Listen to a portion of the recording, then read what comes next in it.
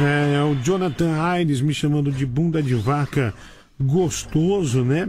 Valeu, cara. Tem aqui. é, Oi, bunda de, ensa- de vaca de ensaio da manteiga. Raquel Diniz.